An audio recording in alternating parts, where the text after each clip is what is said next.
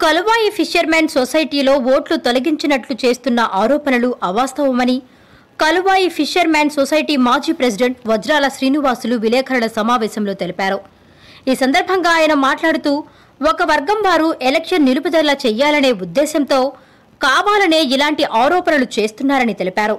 High court ఉత్తర్వుల ప్రకారం ఈ ఎన్నికలు జరుగుతాయని కోర్టు ఉత్తర్వులు ఇచ్చినప్పుడు ఏం చేస్తున్నారని ఇప్పుడు అర్థం పర్థం లేని ఆరోపణలు చేస్తున్నారని తెలిపారు.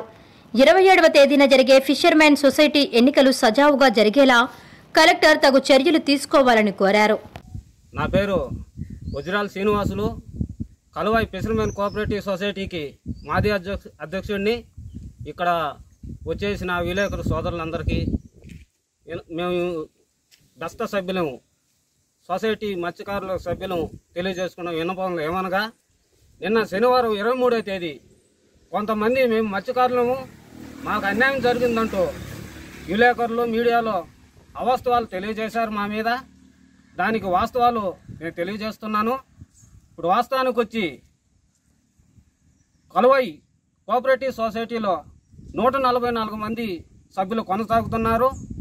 వాళ్ళకి ఇటీవల జరుగుతున్న ఎన్నికల్ని ఆఫ్ చేసే విధంగా కొంతమంది స్కిల్ టెస్ట్లో పాసు కాకుండా సభ్యత్వాలు పోగొట్టుకున్న సభ్యులు కొంతమంది వీళ్ళ మీద ఆందోళన కారణంగా వ్యాక్- వ్యాక్త వ్యాఖ్యలు చేస్తూ వీళ్ళని భయభ్రాంతులకు గురి చేస్తున్న సభ్యులందరికీ అసలు ఉన్న వాస్తవం తెలియజేస్తున్నాను.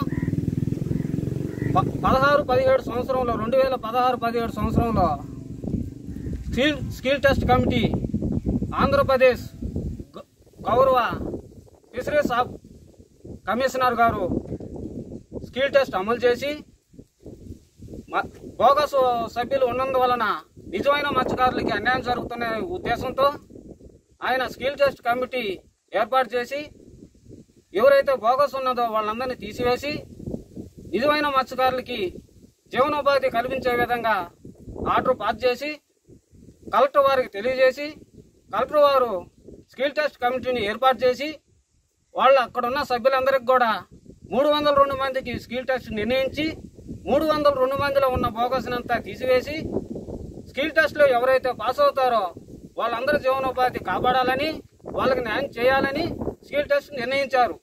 ఈ వీడియో మీకు నచ్చినట్లయితే please subscribe share and like ఇవ్వండి. Star nine live.